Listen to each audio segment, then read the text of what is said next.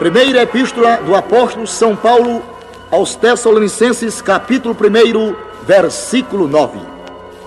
Porque eles mesmos anunciam de nós qual a entrada que tivemos para convosco e como dos ídolos vos convertestes a Deus para servir o Deus vivo e verdadeiro.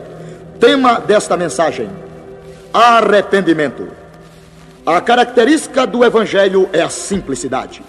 Quando o apóstolo Paulo declarou ao carcereiro de Filipos os termos da salvação, disse apenas: crer no Senhor Jesus Cristo e serás salvo. Atos 16 e verso 31. O apóstolo Pedro, falando sobre o mesmo assunto, afirmou: Porque debaixo do céu não existe nenhum outro nome dado entre os homens pelo qual importa que sejamos salvos. Atos 4, verso 12. Nenhum outro a não ser o de Jesus Cristo os pecadores confrontados com a necessidade da salvação frequentemente se deixam confundir com a simplicidade da salvação oferecida por Deus. Satanás não podendo subtrair coisa alguma das condições ou do plano da salvação, porque Deus já reduziu este plano e essas condições ao mínimo irredutível. Ele só pode confundir a mente dos pecadores, adicionando alguma coisa e não subtraindo. Se Deus tivesse imposto condições para a salvação, Satanás poderia anular essas condições e impedir os homens de alcançar a salvação. Mas desde que não há condições, e a salvação é um fato simples, cuja única condição é crer. O método usado por Satanás para enganar os homens tem sido de fazer acréscimo à simplicidade do Evangelho. É por essa razão que muitos pregam a salvação pela fé e boas obras ou salvação pela fé e batismo, ou salvação pela fé e pertencer a uma igreja, ou ainda salvação pela fé mais arrependimento. Todas essas são tentativas para perturbar a mente do homem que precisa ser salvo em relação ao ponto focal e ao plano básico da redenção. É nossa intenção falar a doutrina do arrependimento isto tem grande importância pelo fato de tantas mentes virem sendo confundidas quanto à simplicidade da salvação pela deturpação do ensino das Escrituras a respeito desta importante doutrina. Confiamos que o ouvinte descobrirá nas Escrituras não apenas a simplicidade do plano da salvação, mas a parte que o arrependimento desempenha na salvação da alma. Consideraremos a palavra arrependimento essa doutrina do arrependimento tem sido tremendamente prejudicada pelo conceito errôneo alimentado pela maioria dos homens. Pois quanto a palavra arrependimento é usada, traz à mente do indivíduo comum a ideia de tristeza pelo pecado. Geralmente lhe ocorre a imagem de alguém em cuja face corre lágrimas de remorso e cujos lábios proferem promessas de mudanças e um voto de jamais cair no mesmo pecado. E essa tristeza pelo pecado é geralmente chamada de arrependimento. Entretanto, está mais longe do conceito da palavra de Deus do que essa ideia de arrependimento significar tristeza pelo pecado. Na palavra de Deus, descobrimos que a palavra traduzida por arrependimento quer dizer mudanças de ideia. Significa literalmente virar. Trata-se de uma volta muito mais mental do que física uma mudança de rumo, mudança de direção, mudança de atitude. Este é o significado da palavra. Assim, tal mudança de ideia, como prescrevem as Escrituras, quando falam de arrependimento, pode trazer tristeza pelo pecado, mas será a consequência de alguém ter visto o seu pecado à luz da santidade de Deus e ter mudado de ideia, louvado seja o nome do Senhor, em atitude a relação dele mesmo. O Senhor nos dá uma ideia clara do conceito do arrependimento. Nesta parábola de Mateus, capítulo 21, versículo de 28 a 30, lemos: Um homem tinha dois filhos. Chegando-se ao primeiro, disse: Filho, vai hoje trabalhar na vinha. Ele respondeu: Sim, senhor, porém não foi. Dirigindo-se ao segundo, disse-lhe a mesma coisa, mas este respondeu: Não quero. Depois, arrependido, foi.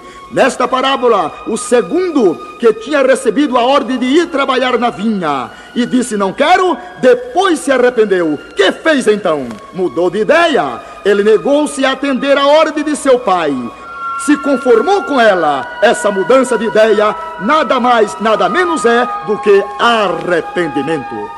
Em 2 Timóteo, capítulo 2, versículo 24 e 25, encontramos o objeto particular que produz o arrependimento.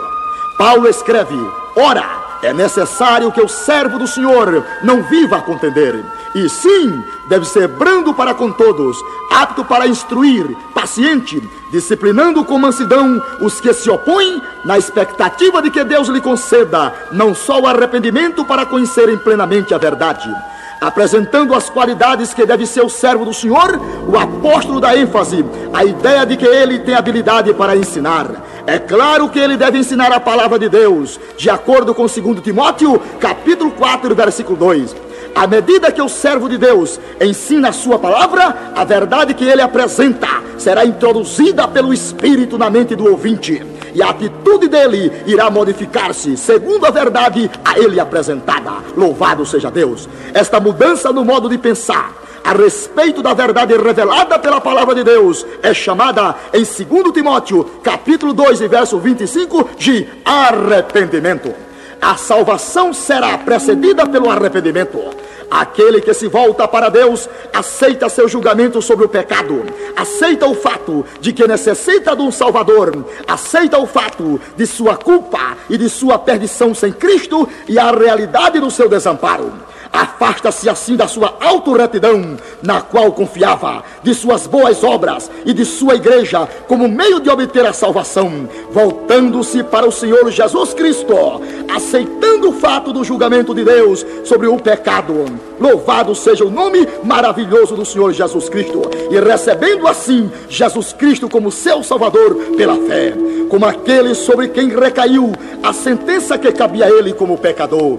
Em muitas ocasiões, eu tive o privilégio de abrir a palavra de Deus diante dos homens e mulheres, a fim de mostrar-lhes que estavam perdidos e condenação de Deus por causa da sua injustiça, mas que Deus lhe oferece salvação através de Jesus Cristo. E tenho tido a alegria de ouvi-los dizer: aceito a Jesus Cristo como meu Salvador pessoal. Quase invariavelmente, a emoção é tão grande que a pessoa não pode refrear as lágrimas que lhe veem os olhos ao sentir-se maravilhado de pertencer à família de Deus. A salvação vem pela fé, glória a Deus. Ela não depende da tristeza pelo pecado, mas da fé no Senhor Jesus Cristo, que se ofereceu como sacrifício pelos pecados do mundo. Louvado seja o nome do Senhor.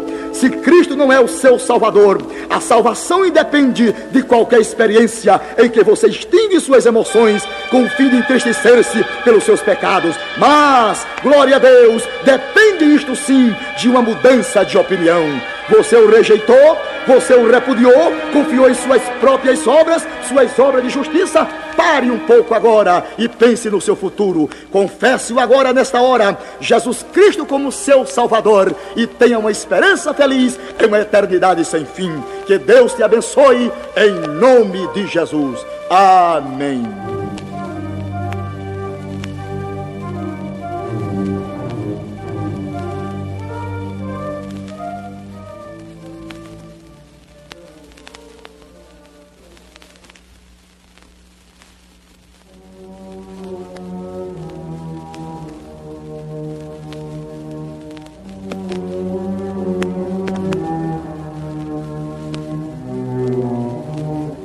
Evangelho de São João, capítulo 3, versículo 3. Jesus respondeu e disse-lhes: Na verdade, na verdade te digo, que aquele que não nascer de novo não pode ver o reino de Deus. Tema de nossa mensagem: regeneração. Dentre as muitas experiências do homem na vida, aqui certamente melhores recordações lhe traz, e se destaca entre todas é a do momento em que o primeiro filho lhe é colocado nos braços. Ele segura aquela criatura tão pequenina, olha para aquele rostinho vermelho, enrugado, choroso e diz: É meu! Quantos sonhos, esperanças, desejos e ambições enchem o coração do pai naquele momento. O pastor tem repetidamente o privilégio de ir ao hospital onde nasceu uma criança. E quase sem exceção, depois de falar com os pais do bebê, o pai lhe diz: Venha até o berçário, quero mostrar-lhes meu filho, exibindo toda a sua alegria de pai. Nunca nos cansamos de admirar o milagre do nascimento. Ao contrário, Maravilhamos-nos cada vez mais com o milagre de uma nova vida que vem ao mundo. Os céus nunca cessam de se maravilhar, louvar e agradecer ao Deus da criação e o Deus da recriação pelo milagre do novo nascimento. Nosso Senhor Jesus Cristo, falando a Nicodemos, disse: Importa-vos nascer de novo. O apóstolo, em Tito capítulo 3 e versículo 5, afirmou: Não por obras de justiças praticadas por nós, mas segundo a sua misericórdia. Ele nos salvou mediante o lavar regenerador e renovador do Espírito Santo. O novo nascimento de João 3 é chamado de regeneração. Em Tito 3 e 5, a mesma verdade nos é apresentada sobre um outro termo, e em Efésios 2 e 1, onde o apóstolo diz: Ele vos deu vida, estando vós mortos em vossos delitos e pecados. As palavras da vida, ou vivificar, têm o mesmo conceito que nascer de novo ou regeneração. A palavra de Deus frequentemente faz referência àqueles que são filhos de Deus. Em 1 João 3, lemos: Amados, agora somos filhos de Deus, e ainda não se manifestou o que haveremos de ser. Versículo 2. Vede que quão grande amor nos tem concedido o Pai, ao ponto de sermos chamados filhos de Deus, versículo 1. E nós o somos, disse o apóstolo, louvado seja Deus. E quando é feita alguma referência àqueles que nasceram da família de Deus como seus filhos, as Escrituras empregam o mesmo conceito básico usado por Jesus Cristo. Quando Jesus Cristo falou a Nicodemos, importa-vos nascer de novo. Em 2 Coríntios 5 e 17 lemos: Se alguém está em Cristo, é nova criatura. Assim, quer falemos sobre nascer de novo, novo nascimento, regeneração, vivificação, tornar vivo, filho de Deus ou nova criatura, Todas essas palavras trazem à nossa mente o milagre do novo nascimento. E é este milagre do novo nascimento que queremos considerar quando usamos o termo doutrinal regeneração. A palavra regeneração é latina e significa renascer, nascer de novo, ser gerado outra vez. E mesmo que haja alguma dúvida sobre a significação da palavra regeneração, não deverá haver nenhuma sobre a expressão nascer de novo, nascer outra vez ou novo nascimento. Quem nasce neste mundo nasce espiritualmente morto. Precisa, por isso, nascer outra vez de um novo pai, em uma nova família, se quiser ter a vida eterna e se tornar um filho de Deus. Louvado seja Deus. Todas as pessoas, exceto Adão, vieram a este mundo de um mesmo modo, pelo mesmo nascimento momento. Este é o resultado da concepção, pelo qual os pais transmitem à criatura a sua natureza a vida que eles mesmos já possuem. Se vamos nascer da família de Deus, isto deve dar-se através do milagre de um novo nascimento, de um novo Pai, que pode conceder-nos uma nova natureza para que possamos ser feitos filhos de Deus. Louvado seja o nome do Senhor. Creio que esses fatos que estamos apresentando são bastante conhecidos, pois não há verdade mais importante do que esta afirmada por Cristo a Nicodemos: importa-vos nascer de novo.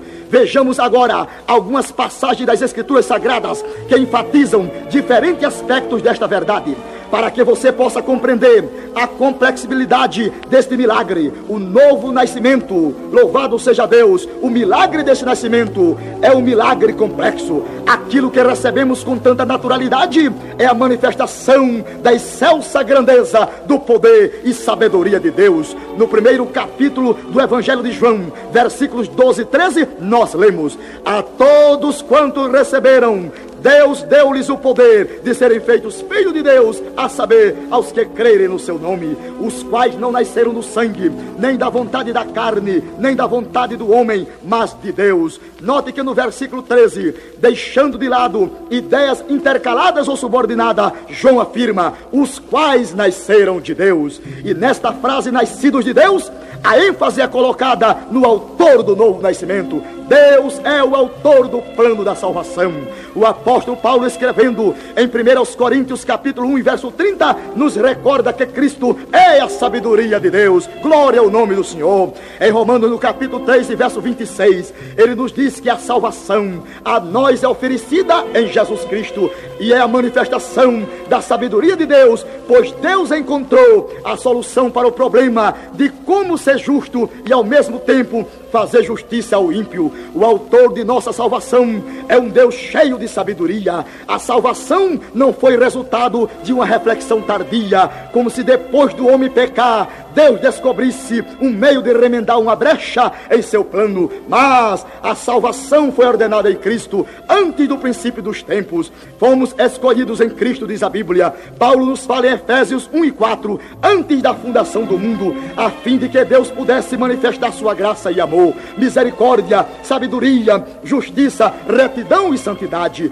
Deus delineou um plano por meio do qual tudo o que ele pudesse ser mostrado em toda a sua radiância, em oposição às trevas do pecado. Glória a Deus para todo sempre. A salvação não teve origem no sangue, isto é, não é de linhagem humana, não veio pela vontade da carne ou porque o homem tenha buscado a Deus quando se viu na escuridão. Não, mil vezes não. Não foi pela vontade humana, como se ele tivesse gerado sua própria salvação. O homem morto em transgressão não tinha desejo de Deus. Agora agora, a fim de que os céus pudessem ser habitados por toda a eternidade pelos seus filhos, Deus planejou e providenciou o milagre do novo nascimento. Ele mandou o Espírito realizar o trabalho, deu-nos o seu Filho para que ele pudesse suprir a base para a salvação pelo derramamento do seu sangue e nos deu a palavra a fim de que pudéssemos conhecer o Filho e assim pela fé alcançar o milagre do novo nascimento. E agora, meu prezado ouvinte, Falo diretamente a você. Você já nasceu de novo? Já foi regenerado? Você já se tornou filho de Deus? Se não, faça-o agora. Eu quero orar por você e também por sua salvação. Que Deus te abençoe em nome de Jesus. Amém.